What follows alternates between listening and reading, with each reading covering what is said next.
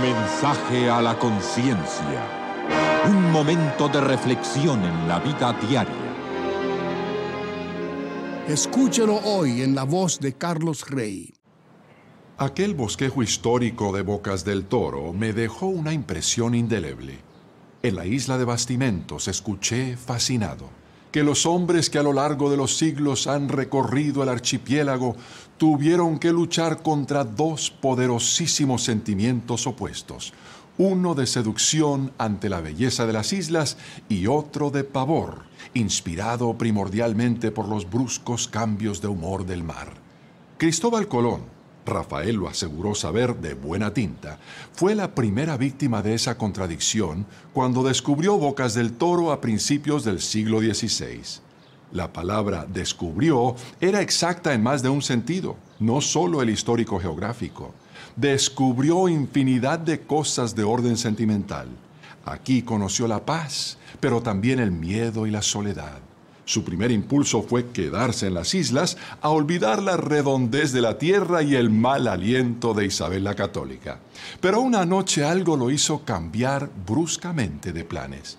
Después de bautizar la bahía en su honor, levó anclas. Luego de esta visita, cae una oscuridad total sobre el paisaje, de varios años de duración. Posteriormente aparecen algunos capitanes españoles de importancia que establecen sucesivamente en Bocas del Toro su cuartel general. Es una etapa de los tesoros escondidos en profundas cavernas, de naufragios criminalmente provocados, de sádicas venganzas, del arrepentimiento y del perdón que llega con los años y la impotencia hasta que todo desaparece, barrido por la bocanada gélida que de tiempo en tiempo limpia el archipiélago. Siguen años apacibles. A continuación, el escenario es invadido de nuevo, esta vez por los piratas, y el destino de Bocas del Toro reencuentra su hilo conductor jefes de bandas feroces que se cañonean de barco a barco en el centro de la bahía por el súbito recuerdo de una traición amorosa de 20 años atrás. Ejércitos de piratas con ojos vendados, patas de palo, pañuelo en la cabeza, que se baten a muerte contra una tribu indígena por un mero error de traducción, por un saludo mal interpretado, por un plato de repugnante comida rechazado. Finalmente, el paisaje también los expulsa. Por algo será que Rafael domina a la perfección la historia de Bocas del Toro.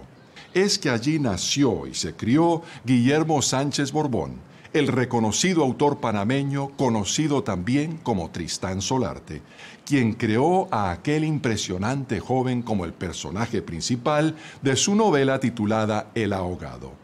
Es interesante observar que esa historia que cuenta Rafael se parece a la historia que narran los escritores bíblicos, en que, tarde o temprano, después de las noches oscuras, se vislumbran las primeras luces de la mañana.